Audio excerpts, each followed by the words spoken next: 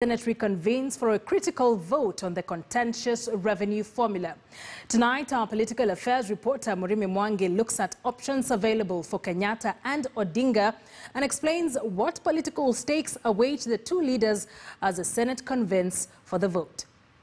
For a pair of bitter antagonists whose votes accounted for 99% of all the presidential ballots cast in the chaotic 2017 polls, jointly rallying their political troops behind them, whatever the cause, should ideally be the simplest thing to do.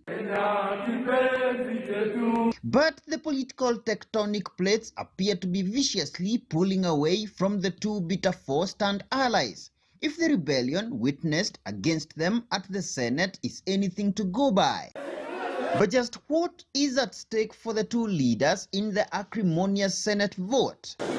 With the combined majority force of both elected senators and governors, Kenyatta and Odinga would ideally, through their Jubilee and ODM parties respectively, control the revenue allocation and devolution debate both of which prominently feature among the nine-point agenda that crystallized their 2018 ceasefire deal.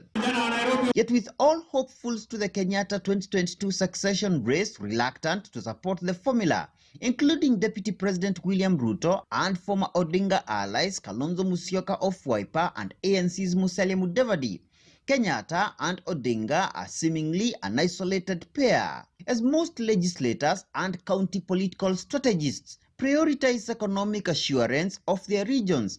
Okay, order members. Analysts argue losing the Senate vote would raise serious queries on the Kenyatta Odinga mobilization powers over their troops. A rebellion that could easily cascade down to the grassroots through rebel leaders from the aggrieved regions, particularly on the emotive equity and resource sharing debate widely blamed for the cycle of bitterly divisive and at times chaotic polls, which Kenyatta and Odinga ironically vowed to eliminate through the BBI process. There are some of us uh, who are living with this political cloud of BBI.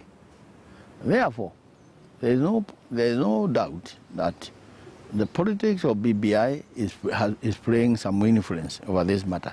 But besides that, I must say that this matter is very personal to every senator.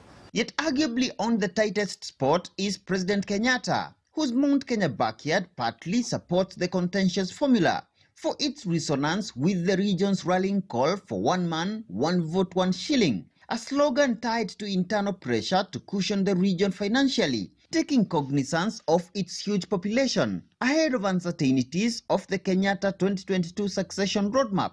Karibu Baba. Ironically, save for Odinga's coastal support base, that is bound to lose 5.1 billion alongside the arid but politically decisive northern Kenya on the verge of losing 8.4 billion shillings.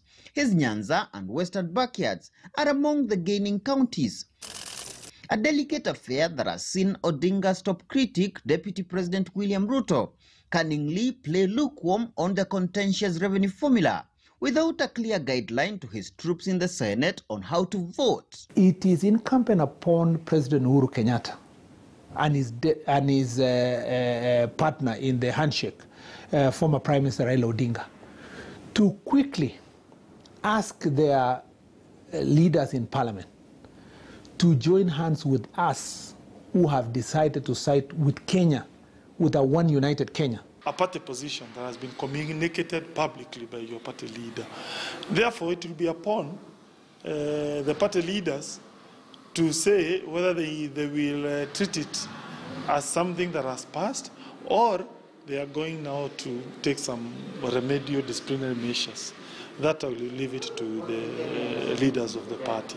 And as the deadlock persists, Kenyatta and Odinga yet again have to play a critical role as the backroom mediation continues. Murimi Mwangi, KTN News in Nairobi. Now, still on the political front, since the 2018 March political handshake between President Uhuru Kenyatta and ODM leader Raila Odinga, they have